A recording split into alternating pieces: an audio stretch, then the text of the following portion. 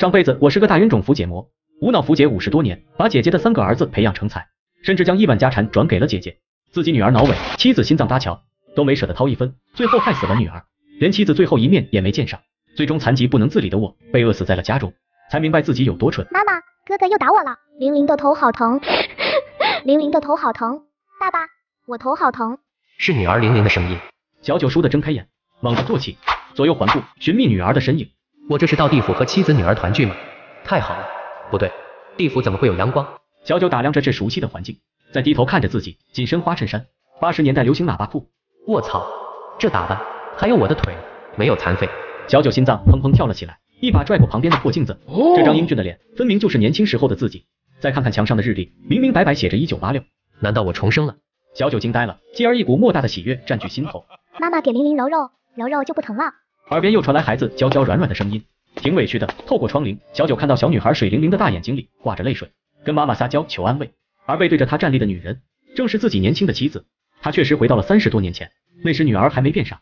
两行激动的热泪喷发而出，无声哽咽。谢谢老天爷给我一次重来的机会，这辈子我一定要让妻子女儿过上好日子，让羞辱和利用过我的人，欺负过妻女的人都付出血的代价。玲玲乖哦，妈妈给你呼呼就不疼了。楚七七弯腰，温柔的在女儿头上呼气。咦，真不疼了，妈妈我饿，妈妈给你包洋槐花饺子吃，好吗？好，玲玲喜欢吃洋槐花，槐花很甜。小九鼻尖又一酸，他把工资拿去给外甥们买糖果点心吃，自己的亲生女儿却啃树枝，能把寡淡无味的槐花吃出甜味来，他真想甩自己两巴掌。乖哦，玲玲先去玩吧，妈做好饭喊你，记得离表哥远一点，也别靠近池塘。玲玲不想玩，玲玲想等爸爸回来。嗯，爸爸一下班，哥哥们就不敢打你了。嗯，爸爸，玲玲来接你喽。小奶包蹦蹦跳跳的跑开了，小九胡乱的擦了把眼泪。他师范毕业之后，就在公社的小学教书，通常在学校吃过中饭就下班了。女儿几乎每天都去路上迎他，但他只会把外甥们抱起来，放在自行车上推回家，对女儿视而不见。只因他白月光叫牛飞飞，但牛家除了要三转一响四大件，还要八百块彩礼。正在他四处筹钱的时候，一直暗恋着他的楚七七乘虚而入。楚家不光什么都不要，还倒打许多嫁妆，所以他被迫娶了楚七七。他不喜欢七七，连带着也不喜欢他生的女儿。现在想想自己挺混蛋的，看着正在洗头的妻子，小九头一阵发烫。上一世他从没仔细看过妻子，竟不知她这么美丽。她的五官极为精致。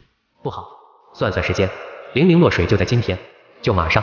小九回过神来，迈着大步就冲了出去。屋里猛不丁窜出一个大汉，把楚七七吓得惊呼失声，倒退两步。当心，是我。温热的雄性气息洒在耳畔，楚七七惊惧的侧了侧头，后背传来一片暖意，烫得他一颤。能不能先让我洗好？楚七七羞窘的咬了咬唇，侧过脸去，语结微颤，楚楚动人。小九看着妻子清纯美丽的脸，眼里压抑着疯狂。想到上一世妻子猝死前那张布满沧桑哀愁的脸，不由得红了眼眶。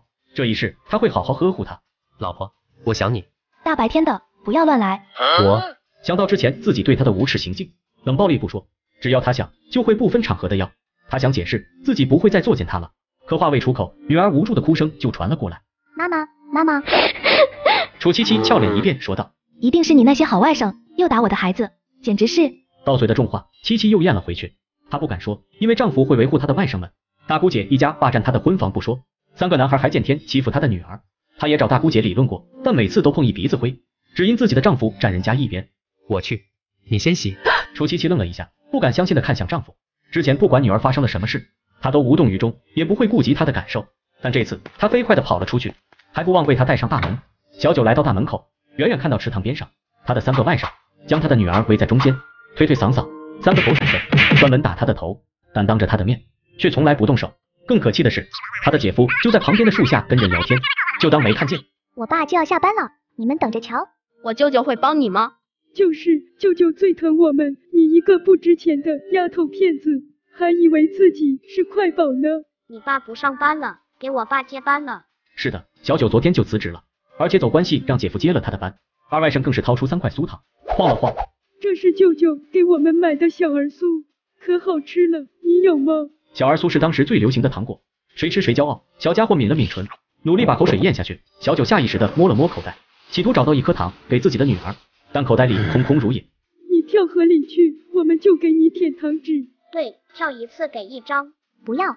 玲玲可不傻，低着头想走。三个男孩可不想放过这个玩耍的机会。他们互相递了个眼色，最后由小二出面，一双手猛地推向小表妹，小九猎豹一样跃出，一把拎起女儿的后脖领，避开了那双脏手。二外甥扑了个空，扑通一声把自己射河里去了。